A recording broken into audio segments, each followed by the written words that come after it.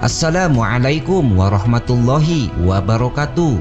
Apa kabar sahabat beriman? Kembali lagi bersama Habsi Al-Fakir Channel Untuk berbagi seputar info islami. Semoga bisa menemani aktivitas Anda. Jangan lupa tekan tombol subscribe dan aktifkan notifikasi tombol lonceng agar tidak ketinggalan info terbaru dari Habsi Al-Fakir Channel.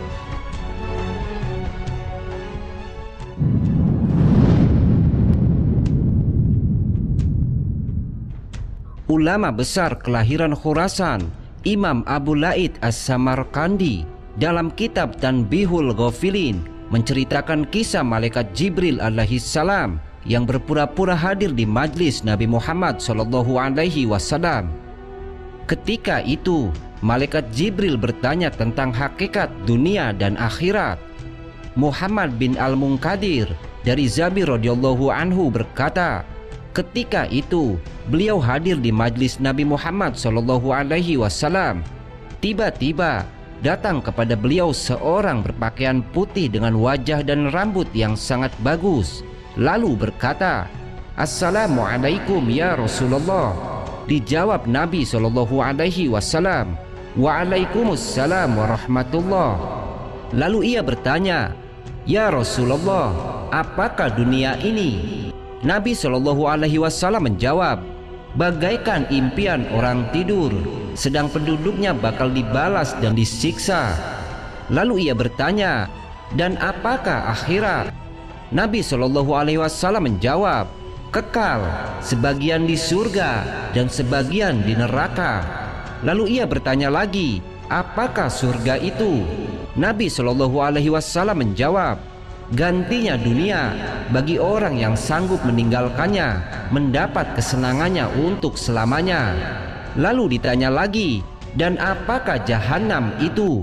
Nabi Shallallahu Alaihi Wasallam menjawab gantinya dunia bagi yang cinta kepadanya tidak akan pisah lepas dari jahanam untuk selamanya. Lalu ia bertanya lagi maka siapakah yang sebaik-baik umat ini wahai Rasulullah Nabi Shallallahu Alaihi Wasallam menjawab, yang bertaubat taat ketika di dunia.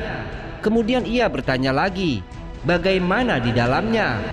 Nabi Shallallahu Alaihi Wasallam menjawab, bersungguh seperti orang yang mengejar gafilah. Lalu ia bertanya lagi, berapa lama tinggal di dunia? Nabi Shallallahu Alaihi Wasallam menjawab, seperti lamanya orang yang tertinggal dari gafilah-gafilah. Kemudian ia bertanya lagi, berapa lamakah antara dunia dan akhirat? Nabi Shallallahu Alaihi Wasallam berkata, sekelip mata. Maka pergilah orang itu dan tidak kelihatan. Setelah itu Rasulullah Shallallahu Alaihi Wasallam bersabda, itulah Jibril datang untuk menzuhudkan kamu di dunia dan menggemarkan kamu di akhirat. Imam Abu Laid meriwayatkan Sanad dari Ali bin Abi Thalib radhiyallahu anhu berkata, Sesungguhnya yang saya khawatirkan atas kamu hanya dua, yaitu panjang angan-angan dan menuruti hawa nafsu. Nabi Ibrahim alaihissalam pernah ditanya mengapa Allah Ta'ala menjadikan beliau sebagai kesayangan Allah.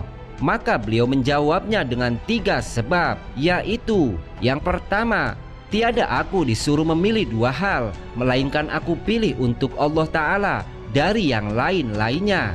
Kedua, aku tidak pernah risau hati terhadap apa yang dijamin oleh Allah dalam urusan rizkiku.